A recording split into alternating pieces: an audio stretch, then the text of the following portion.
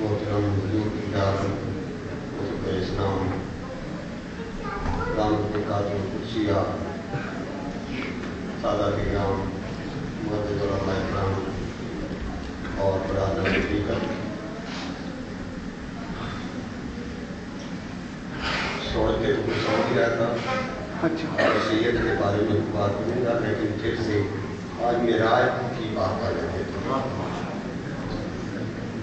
क्योंकि हमारी जमात जमात जमात सदर जी मरकजी जमात बरतानिया व के सदर जी वकार ने मेराज का ज़िक्र छेड़ के तो तबीयत किधर ही लगा दी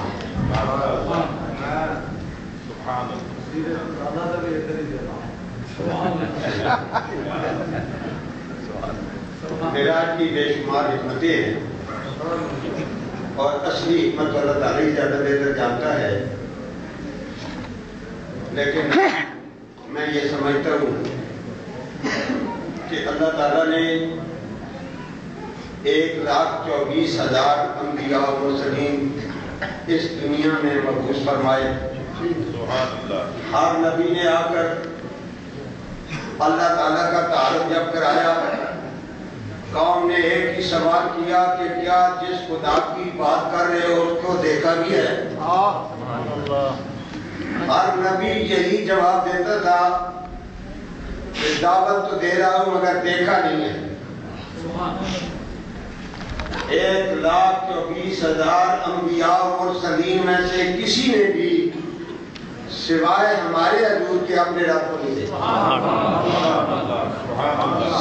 नबी यही कहते रहे ला इलाहा इल्लल्लाह पढ़ो।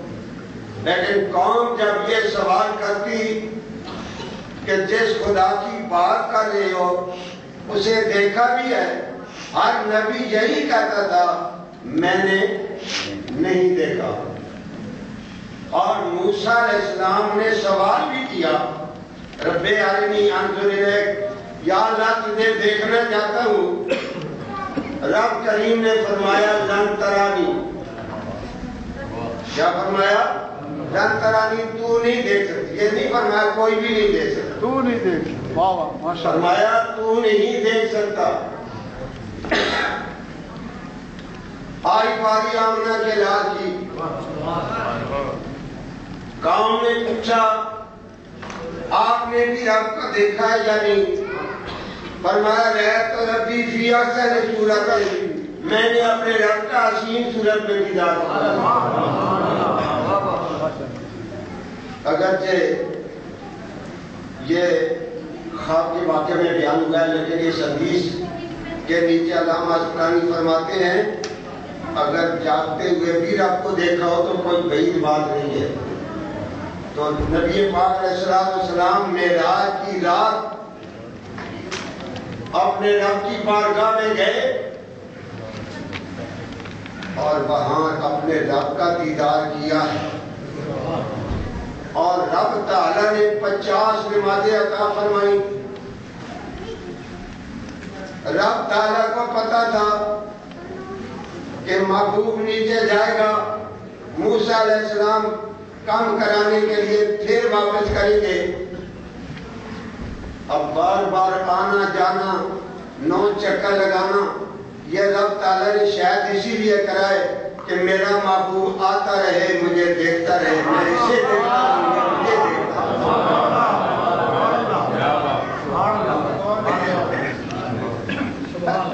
तो एक तो ये मती वाह वाह कादिर में टाइम में विचार के तो दूसरी बात ये है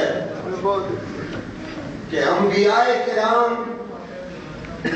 अल्लाह ताला ने आसमान के मुख्तलिफ़ हिस्सों में रखे हैं। कोई पहले आसमान पे नबी है, कोई दूसरे आसमान पे नबी है।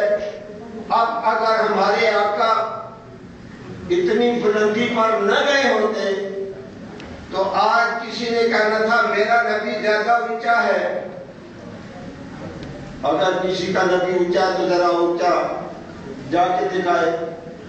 कोई पहले आसमान पे कोई दूसरे आसमान पे कोई तीसरे आसमान पे अच्छा कोई सातवें आसमान पे रब करीम ने फरमाया महबूबा तुझे मैं नामकान में बुला के बता देना चाहता हूँ जहाँ तू जा सकता है वहाँ कोई नहीं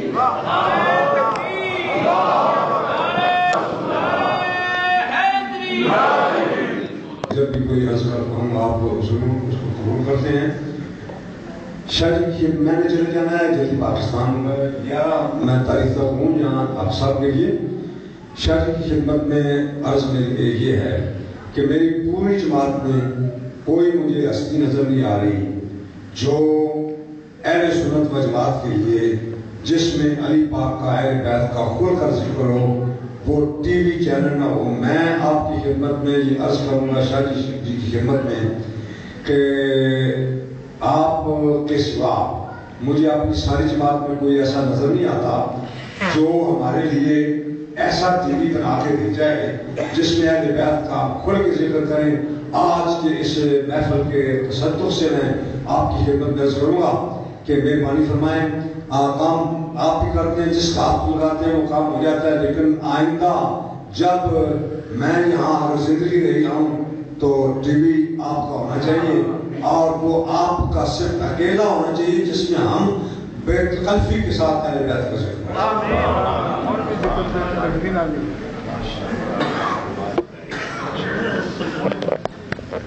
हमारे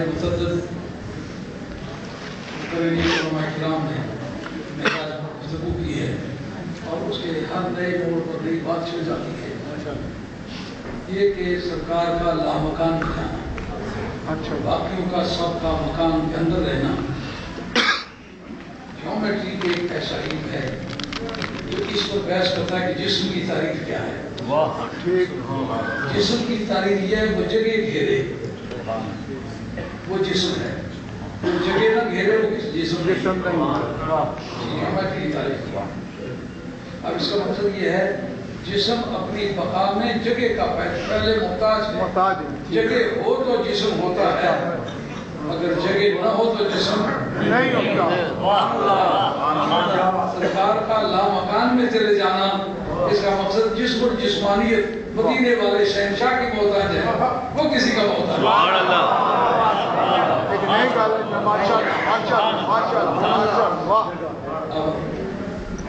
आप शबीर शाह साहब अफजावानी के साथ जाते रहते तीन मिनटों में नाथ पेश करो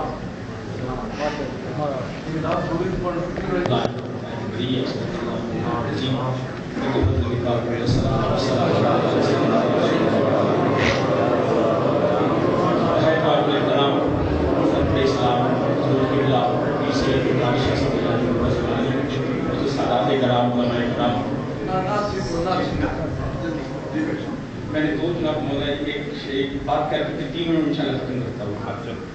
मैंने एक करीम की आयत पढ़ी है। इन लजीन आमन वामिल सालिहात उलाइकुम खैरुल बरिया। कि जो ईमान वाले हैं बेशक जो ईमान लाए और नेक अमल किए उलाइकुम खैरुल बरिया वही सबसे बेहतर है।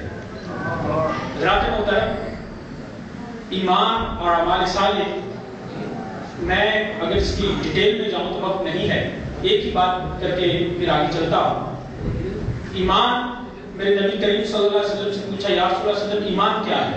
फरमाया ला युमिनून अहदुकुम हत्ता अकूना अहब्बा इलैहि मिन वालिदिही व वालिदिही व नास अजमाइन माशाल्लाह माशाल्लाह। फरमाया ईमान नमाज़ रोज़े हज का नाम नहीं ये तो अमाल साले हैं। ईमान नबी करीम वसल्लम की मोहब्बत का नाम है। तो नबी की मोहब्बत यूँ कह लीजिए कि जिसका कल्बी ताल्लुक रसूल से हो, वो ईमान वाला है। और हमारे साले क्या है? मेरे नबी की अदाओं का नाम सब तबीयूनी ईमान नबी से कल्बी ताल्लुक का नाम है। अमाल नबी से अमली ताल्लुक का नाम है। जो नबी जिसका ताल्लुक नबी से कल्बी हो, वो और जिसका ताल्लुक नबी से अमली हो, वो उलाइका हम खैरुल बरिया को उगाए तो हम खैरुद्रिया की तारीफ़ में आते हैं। लेकिन सदी के अकबर इन सदी के अकबर का कल्बी ताल्लुक भी नबी से। सदी के अकबर का अमली ताल्लुक भी नबी से। उम्र फारूक का कल्बी ताल्लुक भी नबी से। उम्र फारूक का अमली अमली ताल्लुक भी नबी से। हज़रत